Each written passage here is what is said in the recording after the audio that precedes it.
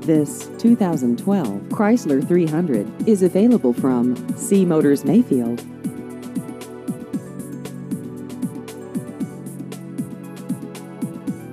This vehicle has just over 49,000 miles.